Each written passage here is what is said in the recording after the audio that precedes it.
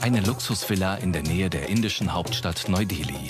Hier wird in diesen Tagen eine prachtvolle Hochzeit gefeiert. Mit knapp 1000 Gästen, wie in einem Bollywood-Film. Die Brautleute entstammen zwei wohlhabenden Familien aus der Textilbranche.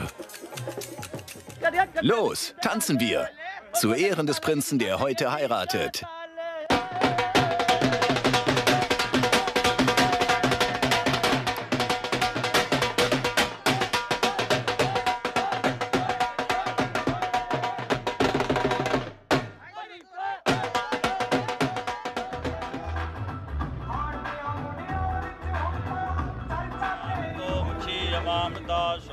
Junge Ehrengast, ein Cousin der Braut, ist Millionär. Evan Lutra versteht sich als Internetunternehmer. Er hat dem Paar zur Hochzeit viel Geld geschenkt. Evan ist wie ein Bruder und er hat viel für uns getan. Ich liebe ihn. Sind Sie stolz auf ihn? Klar bin ich stolz auf ihn, sogar sehr.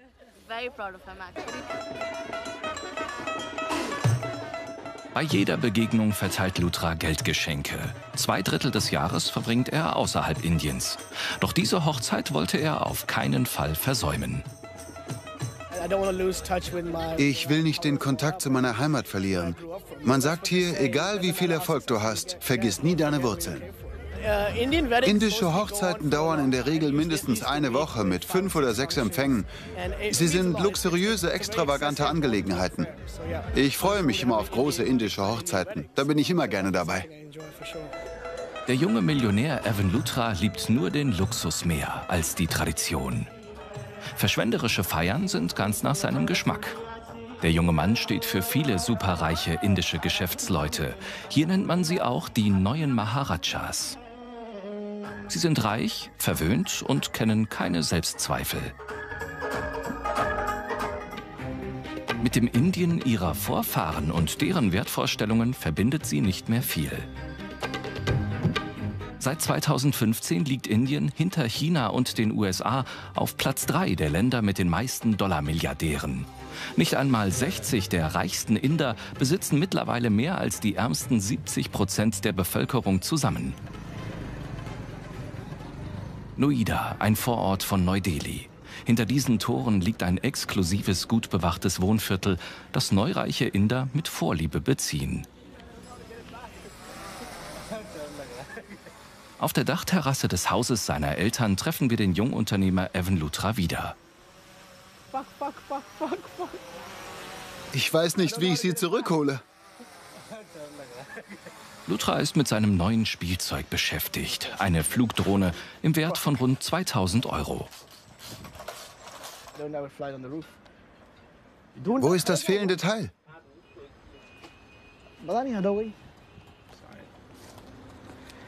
Ist sie kaputt? Ja, ich glaube, sie ist kaputt. Das sehen wir, wenn wir sie nächstes Mal fliegen lassen.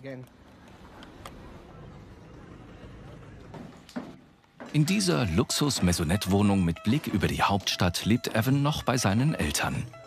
Als Sikhs gehören sie einer religiösen Minderheit an, die in Indien als besonders geschäftstüchtig gilt. Evan Lutra beschloss früh, der Familientradition zu folgen und Unternehmer zu werden. Mit zwölf Jahren erfand er seine erste Smartphone-App. Statt zu studieren, gründete er direkt nach der Schule die erste seiner mittlerweile zwölf Firmen. Das sind meine selbst gesteckten Ziele. Mit 21 wollte ich eine Million Dollar im Monat verdienen. Da fehlt nicht mehr viel. Mit 23 dann eine Million pro Woche und mit 25 eine pro Tag. Auf seinem Weg zum Milliardär scheut sich der Jungunternehmer nicht, seine Erfolge offen zur Schau zu stellen. Er liebt jede Art von Luxus und sieht in den meisten seiner Anschaffungen eine Investition.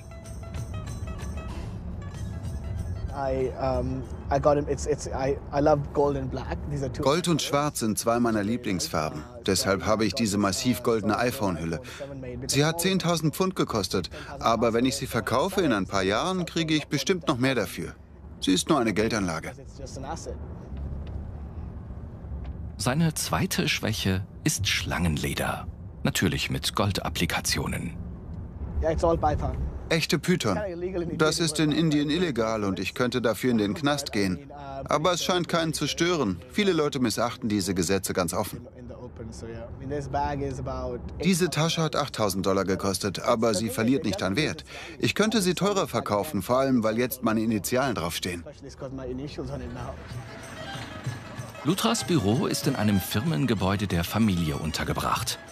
Im fensterlosen Keller des Hauses arbeiten seine Angestellten. Die Zielgruppe seiner neuesten Anwendung ähnelt ihm selbst. Junge Großstadtbewohner mit sehr viel Geld. Es geht um Tische in Nachtclubs. Wenn jemand mit Freunden ausgehen will und er möchte einen VIP-Tisch reservieren, guten Service bekommen und viel Geld ausgeben, dann kann er mit dieser App den Tisch buchen. Nur ein Klick, hier. Um schnell viel Geld zu machen, nutzt Lutra gerne die Ideen anderer. Er hält Anteile an Dutzenden von Start-up-Unternehmen. Deren Gewinne lassen sein eigenes Vermögen wachsen. Die 90.000, die ich kürzlich in eine Firma investierte, sind heute 2 Millionen wert. Meine Investition hat sich verzwanzigfacht. Seine Eltern führen mehrere erfolgreiche Modefirmen. Das Geld für seine ersten Geschäftsideen bekam Evan Lutra von seinem Vater. Doch die Modeindustrie hat ihn nie interessiert. Sie ist ihm zu altmodisch. Diese Firmen mit ihren Hunderten von Arbeitern soll sein jüngerer Bruder übernehmen. Lutra Senior ist zwar vom Erfolg seines Sohnes begeistert, doch dessen verschwenderischer Lebensstil macht ihm Sorgen. In Indien ist es nicht gut, wenn jemand zeigt, dass er Geld hat. Im Ausland ist das den Leuten egal, aber in Indien kauft man ein Auto und alle Nachbarn sagen, oh, du hast ein großes Auto gekauft. Letztes Jahr war er 240 Tage weg. Okay, aber die 120 Tage in Indien kannst du ein paar Stunden der Tradition gemäß leben. Seine Mutter sagt ihm das immer, er soll die Tradition respektieren. Die Tradition muss warten. Schon plant der junge Multimillionär seine nächsten Reisen nach Europa und in die USA, wo er tun und lassen kann, was er will.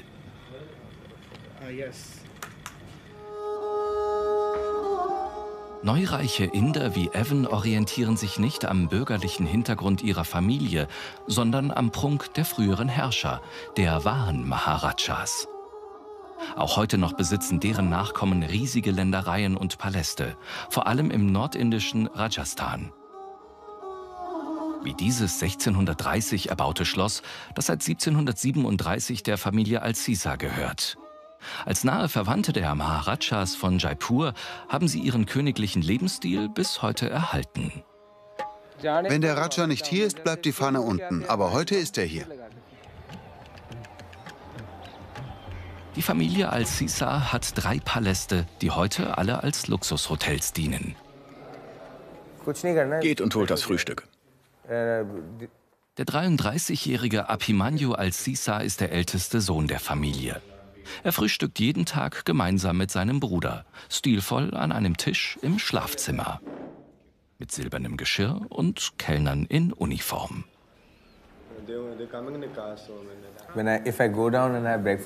Wenn ich unten im Speisesaal frühstücke, kommen die Leute zu mir und stellen mir Fragen. Das mag ich nicht. Die erste Mahlzeit des Tages muss ich in Ruhe genießen, mit nur den Menschen, die ich um mich haben will. Danach plane ich meinen Tag, was zu tun ist und wann und wie. Vor 15 Jahren machte Apimanius Vater den Palast zum Hotel. Er übergab die Leitung seinem ältesten Sohn, der in ähnlichen Luxushotels Management gelernt hat. Die rund 50 Zimmer kosten im Schnitt 200 Euro pro Nacht. Viel für Indien. Uh, Jedes Mal, wenn ich hierher komme, quartiere ich mich in einem anderen Zimmer ein. Das hat viele Vorteile. Schließlich kommen die Leute hierher, um sich für ein paar Tage wie Maharajas zu fühlen und so zu leben wie ich.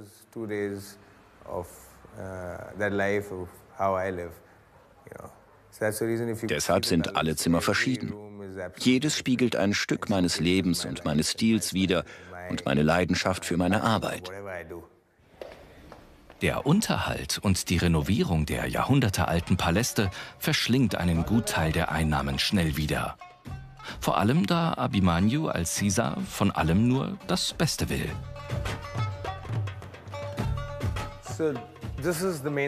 Das ist der Darbar, der Empfangssaal des Palastes. Hier hielt mein Großvater Audienz und empfing Besucher. Alle diese Bilder zeigen meine Vorfahren.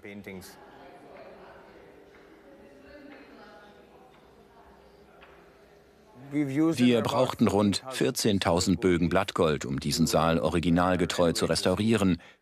Das hat ungefähr ein Jahr gedauert. Allein dieses Blattgold kostete das Familienunternehmen mehrere 10.000 Euro. Um solche Rechnungen bezahlen zu können und um sich von anderen Palasthotels im Land zu unterscheiden, organisiert Abimanyu als Caesar jedes Jahr ein Festival für elektronische Musik in seinem Palast. Hunderte von Helfern sind im Einsatz. In weniger als 24 Stunden beginnen Konzerte auf mehreren Bühnen. Das ist das Mischpult, von dem die ganze Magie ausgeht. Wirkt unauffällig, oder? Seit 2014 verwandelt sich der altehrwürdige Palast an drei Tagen im Dezember in eine Pilgerstätte für Musikfans. Die Idee dafür lieferte eine Ikone des Rock und erfahrener Geschäftsmann, der in dieser Gegend Urlaub machte. Wir waren zusammen was trinken. Mein Onkel, der Maharaja von Jaipur, Mick Jagger und ich. Als Mick von meinem Onkel hörte, dass ich die Leitung des Palastes bekommen hatte, meinte er, wow, da solltest du ein Festival machen. Fahren wir? In seinem Original-Jeep von 1953 fährt Al-Caesar noch einmal das Gelände und die Umgebung ab. Er will sicher gehen, dass alles bereit ist, auch im Dorf rund um den Palast.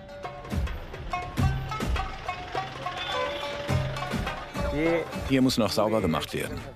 Das machen wir morgen. Die andere Seite ist schon fertig. Junge Künstler haben den Auftrag, einige Mauern im Dorf zu bemalen.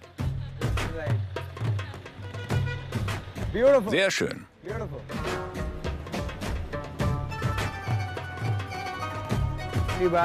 Letztes Mal lungerten hier Leute herum. Das will ich diesmal nicht sehen. Die Anforderungen sind hoch. Rund 3000 Besucher werden erwartet, meist junge Angehörige der Schickeria von Neu-Delhi. Für die Festivaltickets haben sie über 100 Euro bezahlt, eine hohe Summe in Indien. Wir haben dieses Jahr über 700 Zelte aufgebaut, ganz nah am Palast. Das Magnetic Fields Festival ist mittlerweile über Indien hinaus bekannt. Mehr als 40 DJs sind als Caesars Anfrage gefolgt und aus der ganzen Welt hierher gekommen. Wie diese experimentellen Klangkünstler aus Luxemburg.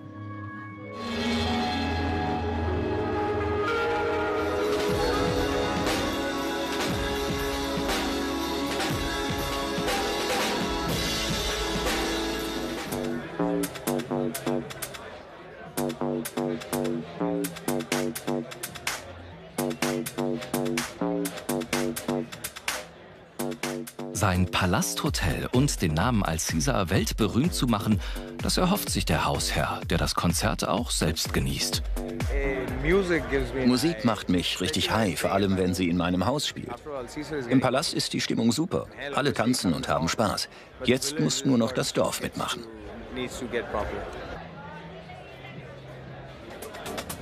Seit Januar 2017 veranstaltet die Familie Al-Caesar außerdem ein Festival für traditionelle indische Musik in einem anderen ihrer Paläste.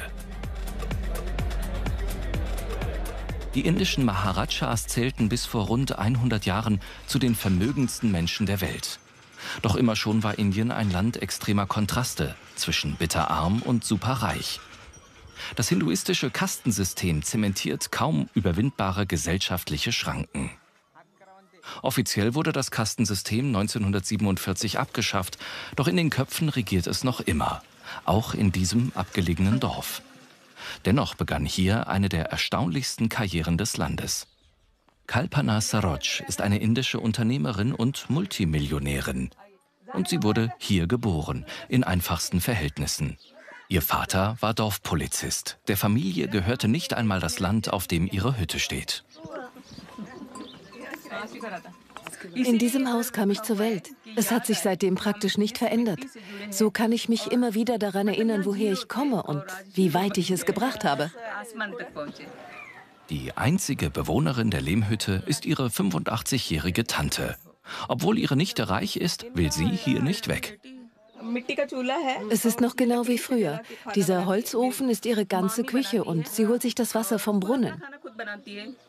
Sie möchte von niemandem abhängig sein. Das Geld, das sie ausgibt, verdient sie selbst.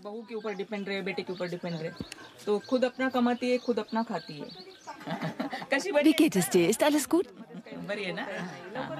Ich bin so stolz auf dich.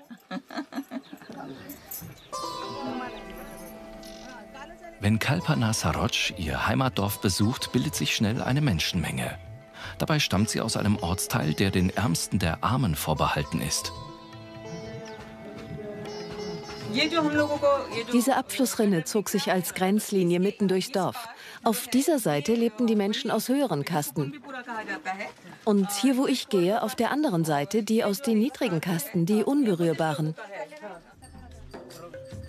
Die Dalit oder Unberührbaren gelten anderen Hindus als unrein. Traditionell durften sie nur niedrigste Arbeiten verrichten und waren kaum mehr als Sklaven. Mein Großvater arbeitete für Leute aus höheren Kasten. Als wir klein waren, gingen wir oft mit. Aber wir durften die Häuser dieser Menschen nicht betreten. Wir mussten draußen in einem abgegrenzten Bereich warten. Wir durften ihr Essen nicht berühren. Und wenn sie uns Wasser gaben, dann nur in Bechern, die sonst niemand benutzte. Saroj kehrt oft in ihr Dorf zurück, um den Menschen dort zu helfen. Heute eröffnet sie ein mobiles Gesundheitszentrum, in dem die Bewohner für kurze Zeit kostenlose Augenuntersuchungen und Brillen bekommen können.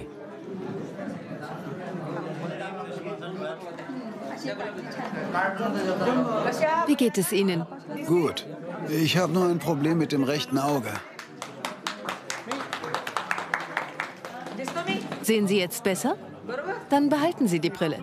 Ist das gut so? Die nächstgelegene Klinik ist zwei Stunden Fußmarsch entfernt. Solche Untersuchungen vor Ort grenzen an Luxus. Ich habe selbst Armut erfahren und weiß genau, welche Probleme die Menschen hier haben.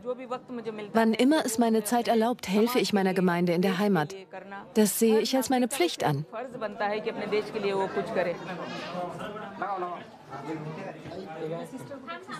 Ob Brillen, Untersuchungen oder Blutspenden, sie organisiert alles und lässt sogar für alle Dorfbewohner Essen in einem eigens aufgestellten Zelt servieren. Das süße Dessert verteilt die Gastgeberin selbst. Guten Appetit. Das Menü ist diesmal etwas Neues. Die Lebensgeschichte von Kalpana Saroj beginnt wie unzählige andere in Indien. Mit zwölf wird sie aus der Schule genommen und zur Ehe mit einem zehn Jahre älteren Mann gezwungen. Bei dessen Familie lebt sie in einem Mumbaier Slum wie eine Dienerin, wird geschlagen und muss hungern. Ihr Vater setzt eine Scheidung durch und holt sie zurück. Doch dafür hat niemand im Dorf Verständnis. Die Leute verstanden nicht, dass ich geschieden war.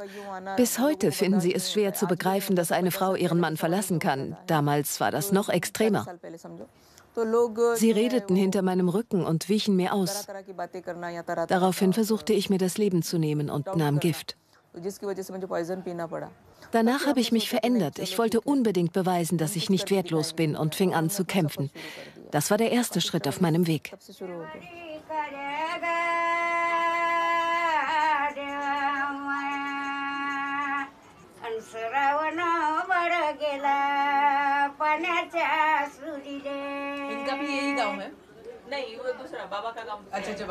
Mit 16 Jahren zieht Kalpana Saroj nach Mumbai. Alles, was sie hat, sind ein paar Ersparnisse und Talent als Näherin. Sie arbeitet in einer Textilfabrik und spart ein bisschen Geld. Mit einem Förderkredit gründet sie ein kleines Möbelgeschäft. Dann kauft sie ein Stück Land und verkauft es mit Gewinn an einen Investor. Seitdem ist sie im Immobiliengeschäft. Damals investierte ich alles, was ich besaß. Ich als Frau und Unberührbare. Ein historischer Moment, denn mein ganzes Leben lang wurde ich, wie alle aus meiner Kaste, vom Rest der Gesellschaft wie eine Sklavin behandelt.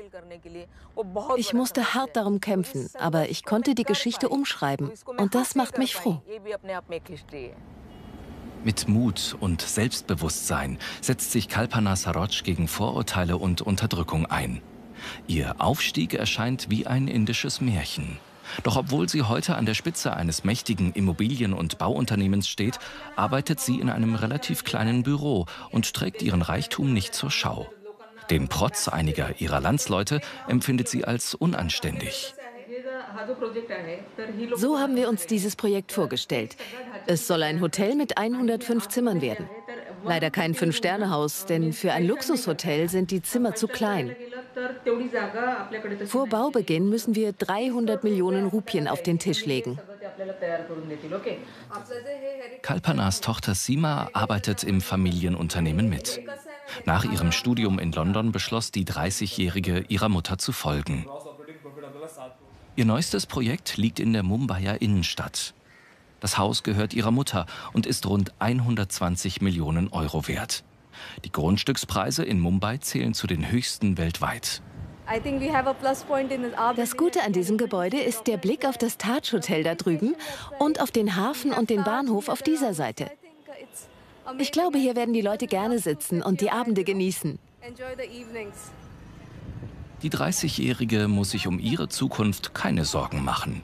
Aber anders als den Erben der Multimilliardäre ist ihr bewusst, wie hart der Reichtum ihrer Mutter erarbeitet wurde. Sie hat meinen Bruder und mich nie wissen lassen, was sie durchgemacht hat und wie schwer es für sie war. Für uns ist sie immer eine fröhliche, liebende Mutter. Sie hat uns nichts von ihrer schweren Vergangenheit erzählt. Erst als Leute wie Sie kamen und Interviews mit ihr gemacht haben, da haben wir aus den Interviews gelernt, wie schwierig es für sie war, das zu erreichen. Auch im Privaten unterscheidet sich Kalpana Saroj von anderen Superreichen. Sie führt kein abgeschottetes Luxusleben in einer Villa oder einem Penthouse. Sie lebt mit ihrer Familie in einer ganz normalen Wohnung im Norden Mumbais. Sonntags empfängt sie gerne Gäste bei sich zu Hause. Angehörige und Nachbarn kommen zu Besuch und sie hat immer ein offenes Ohr für Hilfesuchende. Haben Sie Fotos von Ihren Töchtern mitgebracht? Ja, habe ich. Ich zeige sie Ihnen. Das Ehepaar stammt aus ihrem Heimatdorf und hat eine 15-stündige Busfahrt hinter sich, um ihr von der Hochzeit ihrer beiden Töchter zu berichten. Hier sind 50.000 Rupien für die Hochzeitsfeier. Das ist für Sie. Ist das genug? Schön, das Problem ist gelöst. 50.000 Rupien, also 630 Euro. Das entspricht einem Jahreseinkommen dieser Kleinbauern.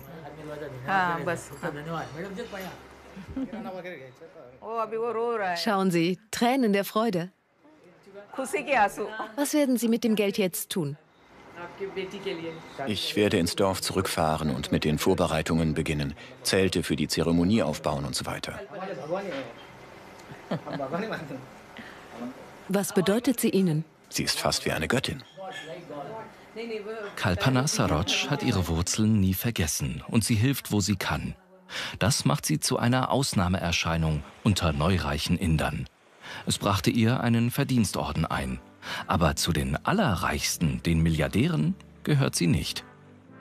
In deren exklusiven Club dreht sich alles um Geld, Luxus und die größtmögliche Show. Goa an der indischen Westküste ist ein beliebter Tummelplatz der Superreichen, wenn ihnen die Großstadt zu eng wird. Die Strände sind nur etwas für Touristen. Wer etwas auf sich hält, hat hier Villa und Yacht. Wir fahren am Wochenende raus mit ein paar alten Schulfreunden. Einmal im Jahr kommen meine Freunde aus dem Ausland dafür zurück. Gautam Singhania ist einer der bekanntesten Milliardäre Indiens. Er leitet unter anderem den größten Bekleidungskonzern des Landes, den sein Vater ihm überschrieb. Sein Vermögen wird auf mindestens 1,5 Milliarden Dollar geschätzt. Er besitzt mehrere Luxusjachten, darunter die Ashena, 46 Meter lang mit drei Decks und fünf Gästesuiten. Eine Sonderanfertigung aus edelstem Teakholz. Kein Wunder, dass Singanias Schulfreunde gerne nach Goa kommen, denn schon zum Frühstück gibt es Trüffelomelett, Kaviar und natürlich Champagner. Ein Traum aus Champagner und Kaviar. Alles frisch aus London eingeflogen. Seine alten Kumpel sollen ein Wochenende lang leben wie die Milliardäre. Mag Gautam Luxus? Nein, er mag Superluxus. Das bedeutet? Er hat viel erreicht und will von allem nur das Beste.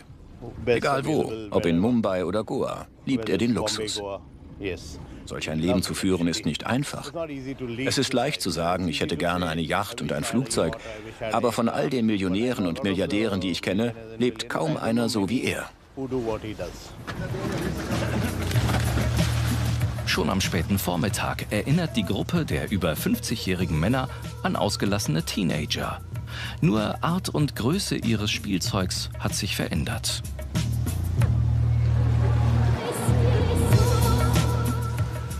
Die Beliebtheit Goas bei indischen Milliardären liegt an der geografischen Nähe zu Mumbai.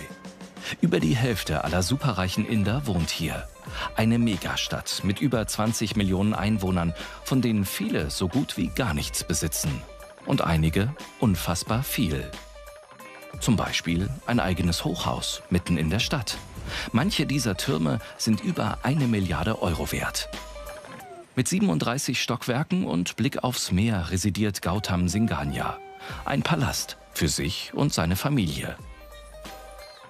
Eine Filiale seiner Kette ziert das Erdgeschoss, Raymond. Die Herrenausstattermarke hat in Indien 60% Marktanteil. Über 1000 eigene Ladengeschäfte und 20.000 Verkaufsstellen im ganzen Land bringen einen jährlichen Umsatz von rund 70 Millionen Euro.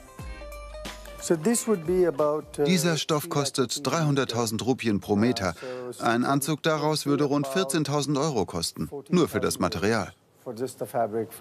Ohne Arbeitskosten und so weiter.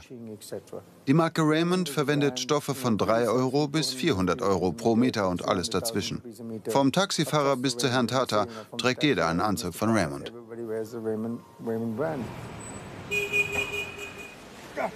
Singania selbst trägt nur Anzüge, wenn er seine Geschäfte führt. Außerhalb des Büros liebt er es sportlicher. Sein Hobby ist die Geschwindigkeit. Auf dem Wasser, an Land und in der Luft. Innerhalb von Mumbai nutzt er einen seiner drei Hubschrauber für den Weg zur Arbeit und meidet den Stau. Norden der Metropole liegt das weitläufige Firmengelände, fast eine eigene Stadt mit Flugplatz, Straßen und Parks. Hier arbeiten rund 1500 Angestellte.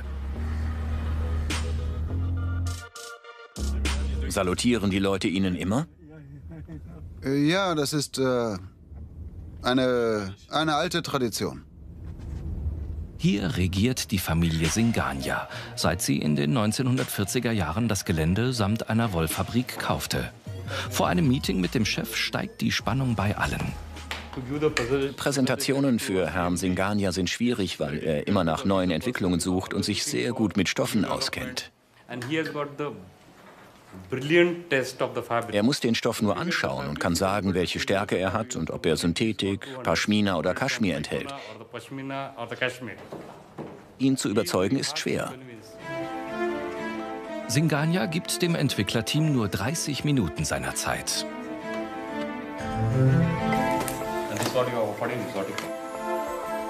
Es geht hier nicht nur um einen Aspekt. Wir haben den neuen Stoff namens Technosmart verwendet, der keine Falten wirft. Das sind die Entwicklungen bei Technosmart.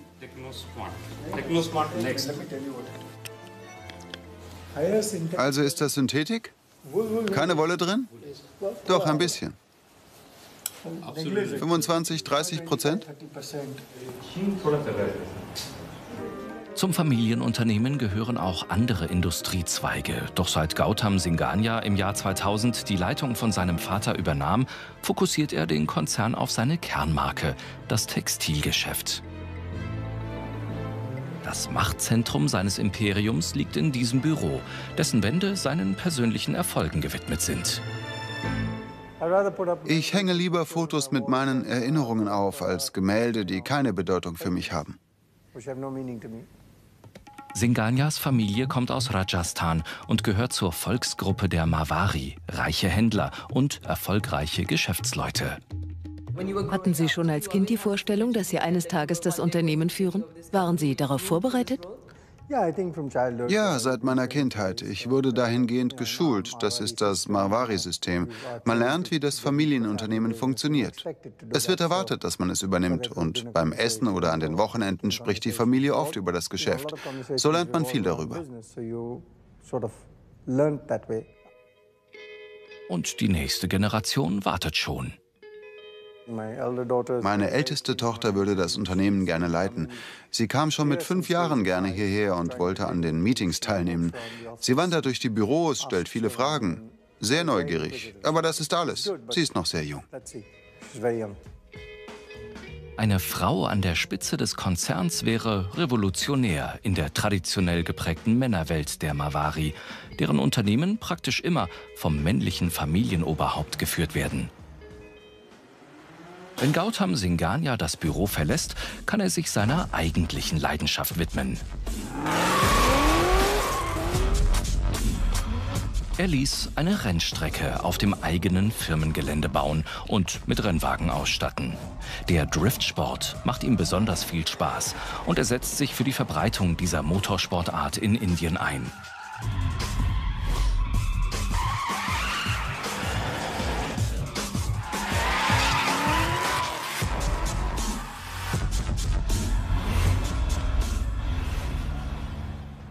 Indischen Medien feiern ihn für seine Risikobereitschaft. Vor allem, wenn er sich selbst ans Steuer setzt. Er ist der einzige Mensch in Indien, der sich dieses Hobby leisten kann. Er hat vier Driftcars, Ferraris, Lamborghinis, die besten Autos. Gelegentlich nimmt Gautam Singhania sogar an internationalen Rennen teil, wie 2014 und 2015 bei der Ferrari Challenge. Das Rennen ist offiziell gestartet und Gautam Singhania fährt von der Pole Position auf Platz 1 und wehrt den Angriff von Jack Diver ab. Singhania hat den besten Start, Diver fällt zurück. Die Teilnahme an solchen Rennen kostet ihn Millionen. Alles für die Chance, auf dem Siegerpodium ganz oben zu stehen. Sieg für Singhania! Seine Begeisterung für schnelle Autos und die Bereitschaft, in den Sport zu investieren, verhelfen ihm zu einer weiteren Karriere als Funktionär im FIA, dem Weltverband des Motorsports. Der Sieg in Mugello ist sein erster in dieser Rennserie, die übrigens nur Ferrari-Besitzern vorbehalten ist.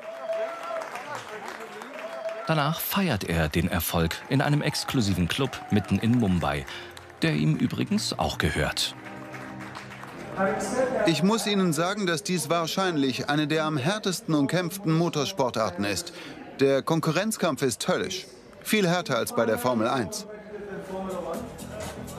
Dieser ehrgeizige Milliardär nutzt sein Geld, um sich zum sportlichen Nationalheld zu stilisieren. Doch so gerne sich Indiens Milliardäre von ihren Landsleuten feiern lassen, vorbildliches Verhalten legen sie nicht immer an den Tag, vor allem wenn das Finanzamt anklopft. Die Steuerflucht der Superreichen wird zunehmend zum Problem für den indischen Staat.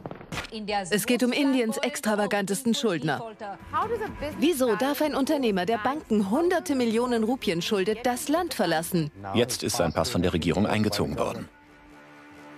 Es geht um den berühmt-berüchtigten Milliardär Vijay Mallya. Ein reicher Erbe, bekannt als Partykönig und Unternehmensführer. Unter anderem der indischen Ableger der Chemieriesen Höchst und Bayer. Mit seiner Biermarke Kingfisher baut er sein Vermögen weiter aus und gründet 2003 eine eigene Airline. Doch da ist der Himmel über Indien schon heiß umkämpft. Das Unternehmen versinkt in Schulden, angeblich über eine Milliarde US-Dollar. Malyas gesamter Besitz in Indien sollte versteigert werden, um seine Gläubiger zu bezahlen. Villen, Flugzeuge, Autos. Doch Monate nach der Flucht des Milliardärs steht seine Autosammlung noch immer in diesem privaten Parkhaus in Neu-Delhi, wie um die Behörden zu verhöhnen. Mit versteckter Kamera filmen wir 40 prächtige Oldtimer. Das persönliche Museum eines reichen Sammlers. Hat Herr Malia diese Autos gefahren? Nein. Nein? Aber vielleicht sein Chauffeur. Nein, diese Autos stehen immer hier. Was glauben Sie, ist das hier alles wert? Das hier sind etwa 500 Millionen Rupien.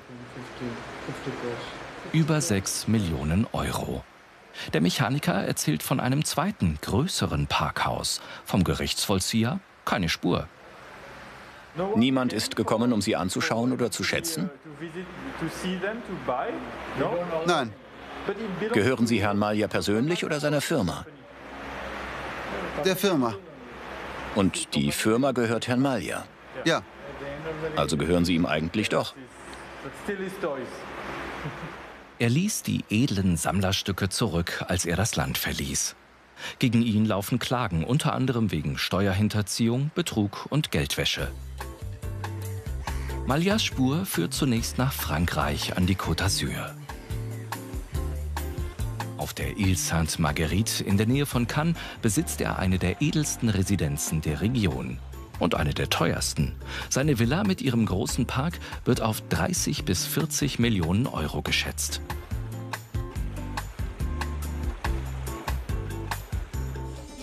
Als Miteigentümer eines Formel-1-Rennstalls veranstaltet Malja zum Rennen in Monaco legendäre Partys, wie diese im Jahr 2014.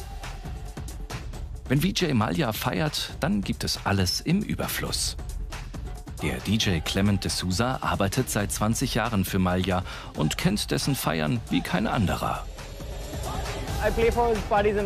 Ich lege bei seinen Formel-1-Partys in Monaco auf. Die sind auf seiner Yacht. Er hat eine riesige 100-Meter-Yacht.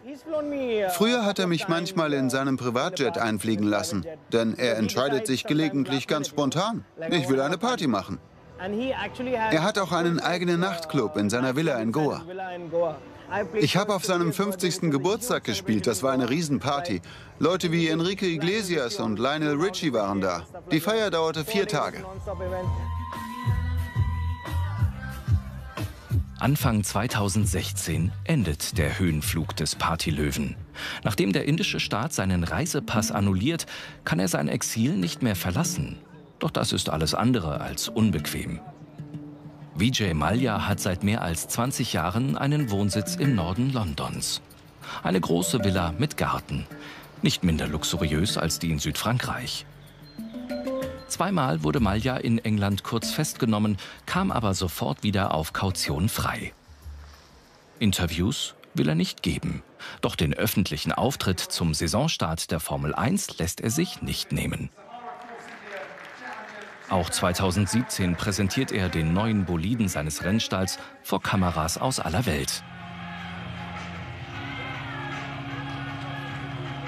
Natürlich will die versammelte Presse auch, dass er sich zu den Anklagen äußert. Doch er ist sich keiner Schuld bewusst und sieht sich als Opfer von Intrigen. Ich persönlich schulde keiner Bank nur einen Euro. Kingfisher Alliance Limited ist leider nicht mehr im Geschäft. Und man will mich persönlich dafür verantwortlich machen. Werden Sie sich bald der Justiz in Ihrem Heimatland stellen? Warum sollte ich? Zuerst einmal muss es eine rechtmäßige Klage gegen mich geben, was nicht der Fall ist.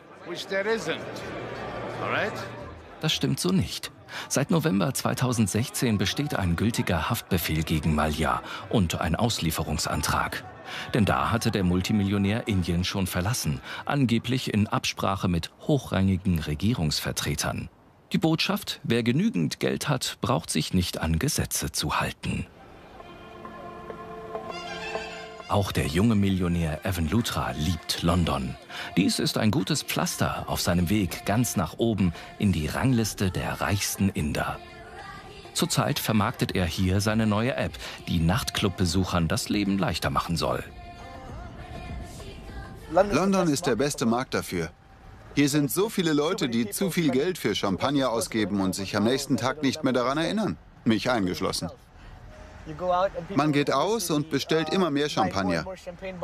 Mit Wunderkerzen, damit die Mädchen an den Tisch kommen. Das will man doch. Ausgehen und angeben. Die Gesellschaft ist so oberflächlich. Es geht nur um Konkurrenz und jeder will gesehen werden. Die App wirft eine Kommission ab für alles, was die Leute bestellen. Daran verdienen wir. Lutra kassiert mit seiner App bis zu 20.000 Euro Provision pro Nacht. Heute Abend trifft er sich auf einem Jahrmarkt mit Stan, einem jungen Franzosen, der einen Investor sucht. Er will ein Virtual Reality Headset für Medizinstudenten bauen. Also ich setze mir das Headset auf und was sehe ich dann? Einen Arzt, der operiert? Genau. Und Sie sehen zu und erleben alles detailliert mit. Beim Zuschauen lernen Sie. Sie haben doch sicher eine Zahl im Kopf. Wie viel Geld brauchen Sie? Es ist keine riesige Summe, 80.000 Pfund. Und wo gehen diese 80.000 Pfund hin? In die Löhne und Gehälter. Der junge Erfinder erhofft sich von diesem Treffen eine Finanzierung seines Projekts. Und tatsächlich wird Lutra einige Wochen später 580.000 Euro in das Start-up-Unternehmen stecken. Dem jungen Millionär geht es nicht nur darum, sich in Indien einen Namen zu machen. Er will weltweit bekannt und beliebt sein. Dafür reist er um den Globus und gibt freizügig Geld aus. Das ist er seinem Image schuldig. 24 Stunden später steigt er in Berlin aus einer Limousine. In diesem Edelhotel hat er die Präsidentensuite für 2700 Euro pro Nacht gebucht. Ein Treffen mit gleichgesinnten Millionären. Alle junge Männer unter 25.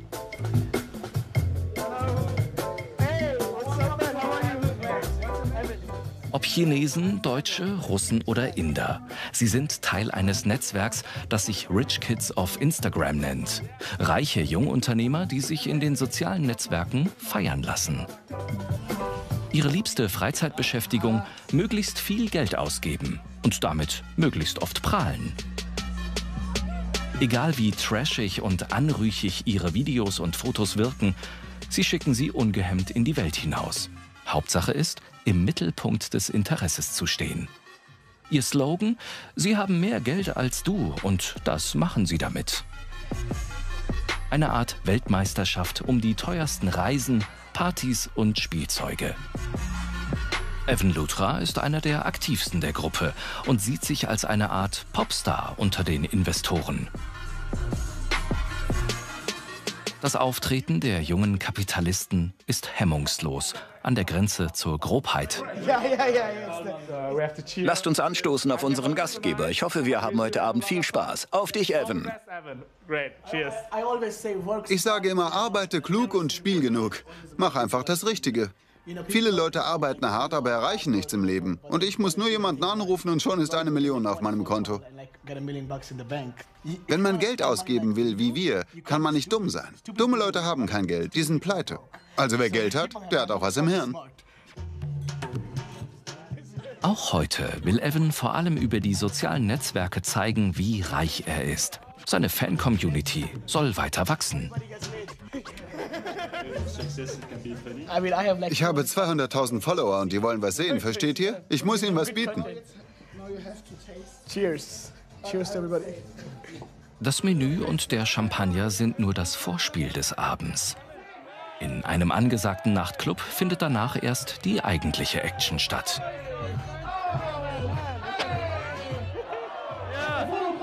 Inder lieben Gold. Alle Inder lieben Gold, das ist so. Wenn du Inder siehst, tragen sie Gold. So wie das hier. Mit ihren Fotos von Schmuck, Champagner und leicht bekleideten Frauen bedienen die Nachwuchsmilliardäre alle Klischees ihrer Anhänger auf Instagram. Nicht zuletzt dank der so geknüpften Kontakte hat Evan Lutra sein Geld weit gestreut. Er investiert in über 40 Unternehmen weltweit. Schon bald will er sich auf der Liste der reichsten Menschen der Welt sehen, als einer von jährlich etwa 20 neuen indischen Milliardären.